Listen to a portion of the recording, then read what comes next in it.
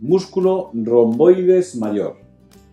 El músculo romboides mayor, vamos a ver que se va a originar en, en las apófisis espinosas de T2, T2 hasta T5.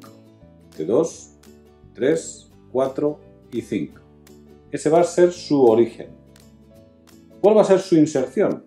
Pues la inserción va a estar en el borde interno, borde interno e inferior de la escápula. Por lo tanto, vamos a encontrarnos que la inserción va a estar a ese nivel.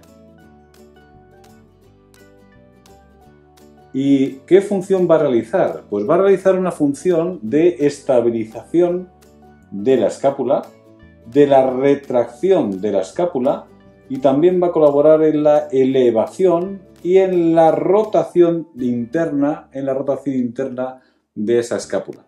Por supuesto, también colaborará en esa abducción hacia la columna y en, llevar la escápula hacia la parrilla costal. Eh, este músculo va a estar inervado por el nervio escapular dorsal y está vascularizado por la arteria escapular dorsal.